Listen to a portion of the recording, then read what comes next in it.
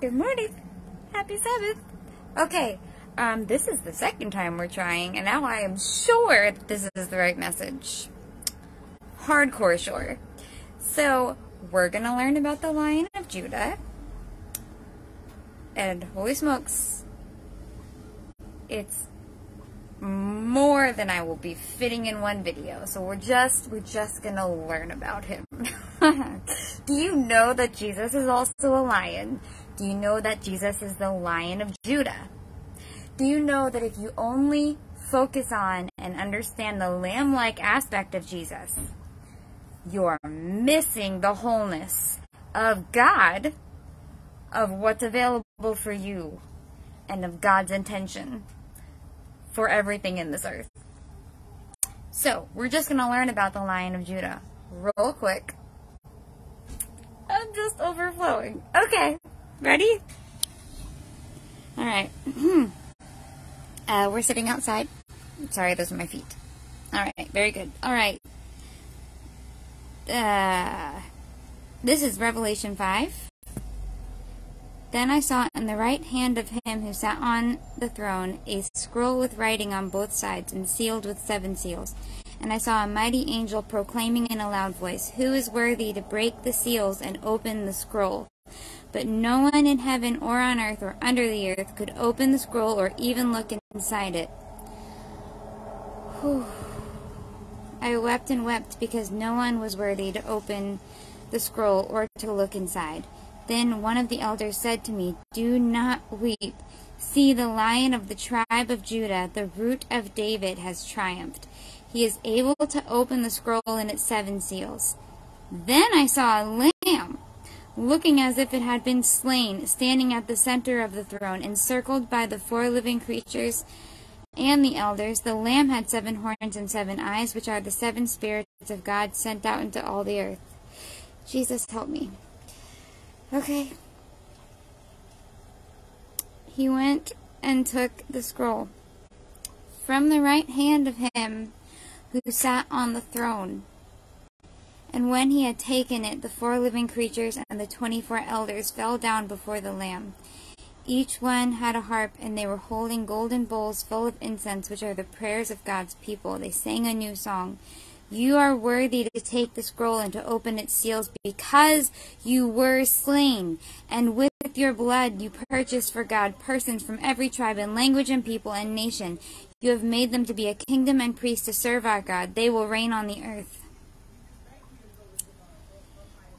Okay, we're gonna, I just gotta, oh my goodness, Lord Jesus. Okay. Now we're over here in Genesis 49. We're here because we're, you might have said to yourself, if you didn't say to yourself, I'll say to you, so you can say to yourself, well, lion, sure, but why the lion of the tribe of Judah? Well, Judah was one of the sons of Israel. There are 12. 12 tribes of Israel. Judah is one of them. Um, and this is the lion of the tribe of Judah. We could go into the physical, the physicalities of why that matters. That's not what we're going to do. We're just going to read the blessing prophecy that Israel gave to his 12 sons, and we're going to only read Judah's. Okay? Alright. Judah, your brothers will praise you. Your hand will be on the neck of your enemies. Your father's sons will bow down to you. You are lion's cub, Judah. You return from the prey, my son. Like a lion, he crouches and lies down. okay.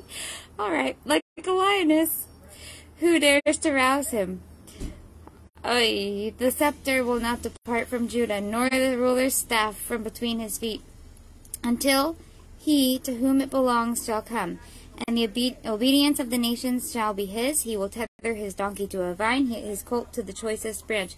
He will wash his garments in wine, his robes in the blood of grapes. His eyes will be darker than wine, his teeth whiter than milk. Okay. All right. Listen trying to go as expeditiously as I can. Um, there's literally so much to learn about this. This is not the last video I will be doing about the Lion of Judah. Um, I think the last 21 days have been, have been the most profound learning of the Lion of Judah that I never would have known or asked or imagined uh, or figured out how to learn myself. But in 21 days, what I can tell you is these, this is what you need to know first. Um, we need to know that to identify with and as the Lamb of God, dying to self, serving, completely submitting to the will of the Father. I took notes, so let me just make sure I'm not missing anything. That our whole life and any desire is submitted directly to our glorious Creator and Judge of the universe. He's the rightful Judge of the universe because He is the Creator of the universe. And He is the Holy God. Um, my whole, yeah, yeah, yeah, my whole life and desire submitted. So I'm submitted to His judgment of me, His verdict or His word of what is good for me, what is good for me to do, to eat, to say, how to live. My entire life is His. That would be being a Lamb of God. This is also if we dwell too long in the Lamb of God. We might forget the lion, and we might start praying things that sound like desperation. We might start asking for revival as if it's not a hundred percent already available to us, which is a whole other topic. But um, instead of commanding with alignment and alliance to, allegiance to, the rightness of understanding our identity in the Lion of Judah, that is Jesus. Now, um, how, how do we live as the lion? To rise up against every evil thing in the name of Jesus, to be filled with the spirit of the lion. How does that happen?